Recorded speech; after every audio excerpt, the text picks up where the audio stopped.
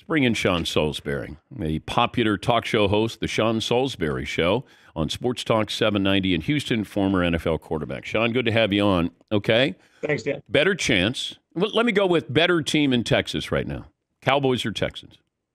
Oh, Texans are.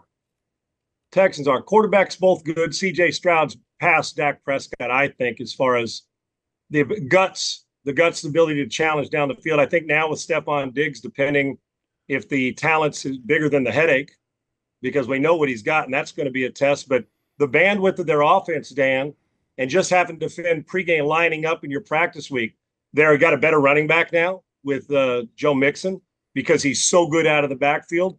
Tank Dell will be healthy. Nico Collins is becoming a number one. And I like their defense better.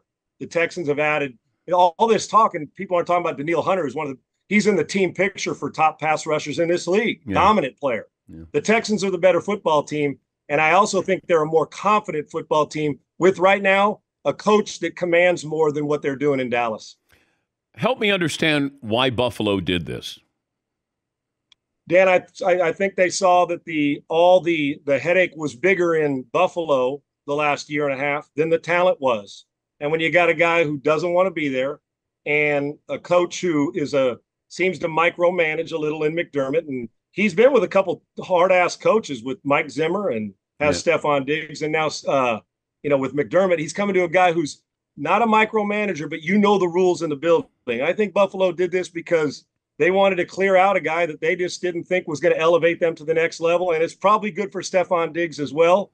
Now Buffalo, where they went out got Curtis Samuel in the offseason. Their weapons now, they're going to have to elevate to another level. They've been sitting on the doorstep trying to get to the Super Bowl. So I'm interested to see how they're going to take care of their draft, but they need more weapons on offense now. And maybe they're thinking Josh Allen can overcome it. But when a headache hmm. becomes a migraine in one city for whatever reason, and it was now it's happened in two cities, you're hoping it doesn't happen in three if you're a Texans fan. But this is an upgrade for the Texans to add to an already explosive offense with Joe Mixon here as well. But Buffalo did it because the headache became bigger than the talent in Buffalo. Yeah, that's what I would be concerned about. You're getting a 30 year old receiver who may not be a number one receiver uh, anymore.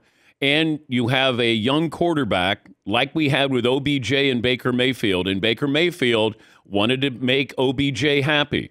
And you change your offense. And uh, that, that was to the detriment of the Cleveland Browns.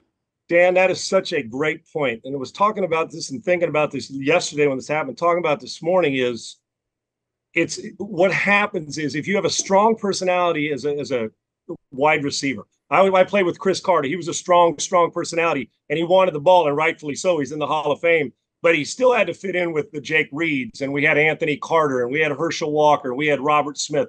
So, and with Warren Moon and Jim McMahon at quarterback, you had an opportunity to kind of respected that position and knew where you were, still found a way to get him the ball. But it's going to take incumbent upon CJ Stroud and them not to fit into to, to Stefon Diggs. Just Stefon Diggs to fit in with what they're doing. But it is easy to get to a point where you say, I got to get him involved. I don't want him to be a malcontent. And then it changes the way you go about being honest and reading the defense. And Dan, I'm going to tell you, it's not now. It's not in training camp. It's not in OTAs or mini camp or in August the, the real test is going to be when Nico Collins has nine catches for a buck 50 and two touchdowns. And in game three, Stefon Diggs catches two balls for 28 yards and the Texans win. That's when you're going to find out where's the headache. Is it a migraine or is it just a little nag because you it, it's it's it's hanging around and a Tylenol will fix it.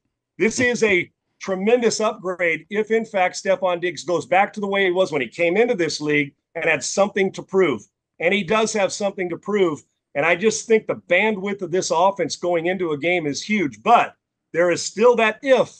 And if you have too many ifs on a team, it becomes a problem. I think with Ryans and CJ Stroud, and I think he's at a, a slippery slope in his career as Stefon Diggs to get to the level that he wants to be. But it can't just be about his numbers. It's got to be about what's really getting yours. And that's putting a ring on your finger in the process. Because Nico Collins and Tank Dell are both really good players. But trying to defend this offense now, I think it's one of the three or four, or I might be cheating them out of a slot or two, most explosive offenses, at least on paper, if things work out in the league. Because remember, Dan, Mixon's as good as we have coming out of the backfield, like a McCaffrey catching the football in space. How are you going to defend them all if they're healthy and a little bit lucky with uh, with attitude?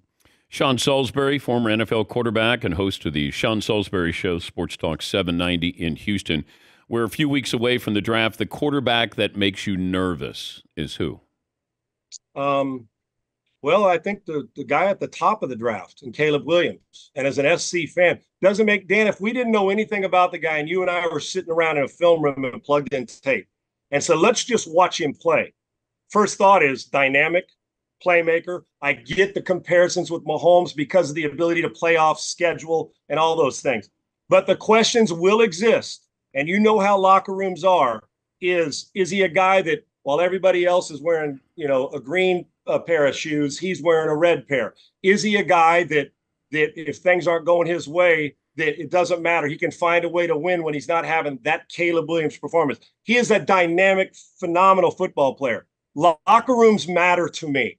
They do. And when, when you're a guy that beats to a different drum, and he does, and guys are giving you a hard time, can you handle that locker room fun that we call it? Or some would call it getting, because he is going to get it from veterans. He just is, you know, whether it's the painting the nails or wearing a clutch in a purse and doing all those things. But the truth is, if he's a playmaker, that will go by the wayside, and he is. But leadership, buy in, and guys, that locker room, it doesn't matter what you and I think, it matters what those guys sit next to him. But if you can play, they don't care. But the locker room's a different place. So I am concerned about the leadership and buy in overall if things aren't going well. He's not going to the Kansas City Chiefs, he's going to a team that's picking first for a reason. So I'm anxious to see how he responds to that. And and so I do have questions. I don't have questions about him on the playing field. Hmm. So it's the it's the periphery stuff. And some I've talked to two coaches at SC about a year and a half ago that said they do buy in. They love the guy. And then you hear guys say, "Well, do you want that guy leading your team because he maybe beats to a little different drum, which is okay, but his performance on the field will dictate that." Otherwise, then you go down. I think Jayden Daniels is a hell of a player, quick release, and showed me that he pushes the ball down the field because a year before last, he did not take many shots. Penix is a great pocket guy. JJ McCarthy, too. Here's why people are going to question this one, Dan, trading up to get him. Think North Carolina basketball when Michael Jordan, Antawn Jamison, and uh, Vince Carter, they played averaging 17, 18 a game, but you knew the gem was there when they were able to get out from under maybe Dean Smith and expand. That's JJ McCarthy. He's got great feet. He's a winner, which you crave, and it's in his DNA. He is an accurate passer and he can throw the football. But he hasn't had a chance to expand because that's not what Jim does at Michigan. He's going to get the chance. You're trading up for him. I think that while there's going to be questions, I actually think that he, five years from now, could be one of the best we have in this draft because he wins and he gets it. But expanding his variety to stand back and throw it 40 times, he's going to have to be well coached at the next level. Leadership for Williams, more throwing for JJ McCarthy those are probably the concerns for both guys that could have sensational careers. Always great to catch up with you, get your insights. Thank you, Sean. Appreciate you, Dan. Thank you, buddy. Sean Salisbury, former quarterback, host of the Sean Salisbury Show, Sports Talk 790 in Houston.